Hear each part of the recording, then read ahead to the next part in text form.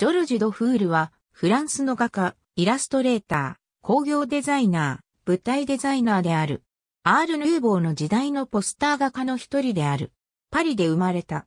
父親は、オランダ人の建築家で、母親は、ベルギー出身の女性であった。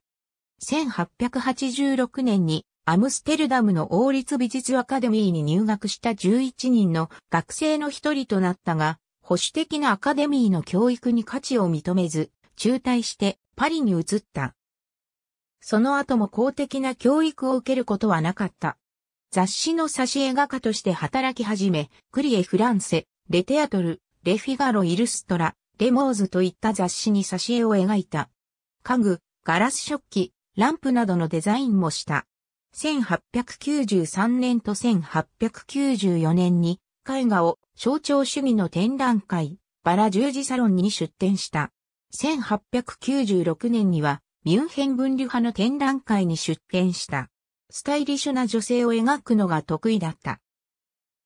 サロンデサンやダンサーのロイ・フラーの舞台のポスターなどのポスターを制作し、美術賞のサミュエル・ビングが開いたアール・ヌーボーの展覧会の最も重要な出展者となった。1900年のパリ万国博覧会にも作品を出展した。1910年にはアルマン・ドゥペルドゥさんが起業した飛行機メーカーと飛行機のデザインもし、特許も申請した。1913年にはクロード・ドビュッシーとモーリス・ラベルの曲で2本のバレエの台本原稿を執筆した。